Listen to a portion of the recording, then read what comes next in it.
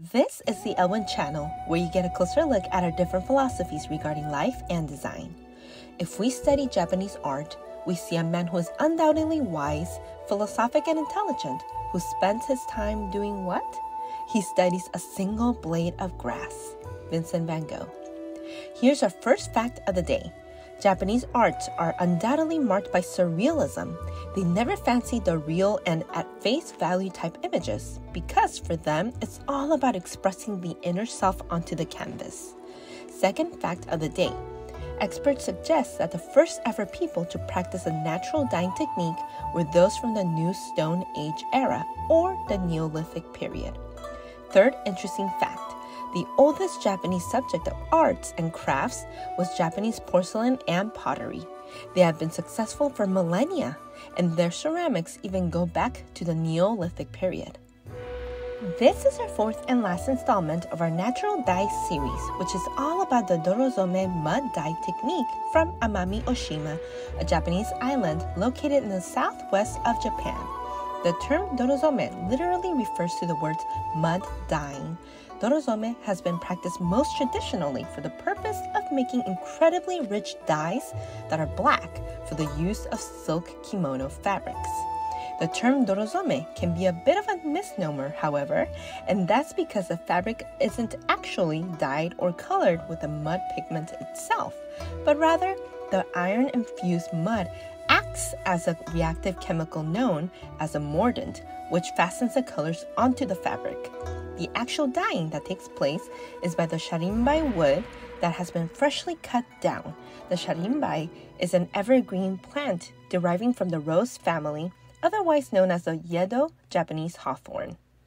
The sharinbai wood is always used fresh, meaning that the wood pieces absolutely have to remain green with fresh sap. Next, the logs are cut down and broken prior to being compiled into a large net or cage of sorts that is levered up high in the air. So, what's the point of hanging up in midair, you ask? Well, the entire batch is soon brought down into a large heated vessel that is filled with water. And this is where the waiting period takes place.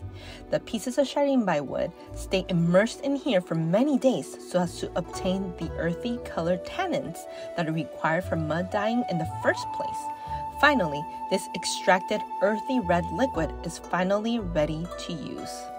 Although the Amami Oshima mud dye creates a remarkable range of browns, tans, and earth tones, it is often used to make truly saturated blacks, particularly for silk textiles.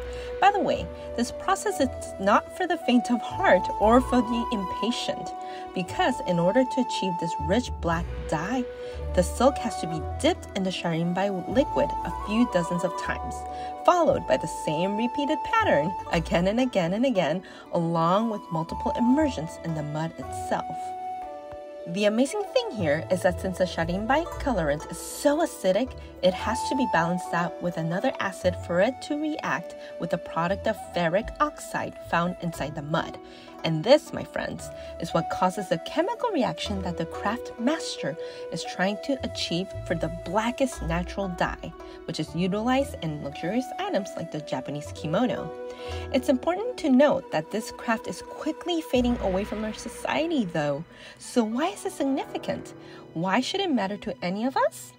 There just aren't enough naturally hand dyed products out there anymore. Not only would this provide a way to pass down such a beautiful heritage from generation to generation, but it would also allow this gorgeous natural mud dye to keep on giving to color enthusiasts. Not everyone wants to wear synthetic dyes, and as such, we must fiercely preserve this cultural tradition.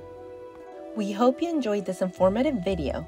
Please let us know in the comments how you think we should preserve this wonderful craft of Dorozome dye. And also, don't forget to like and subscribe for more upcoming videos.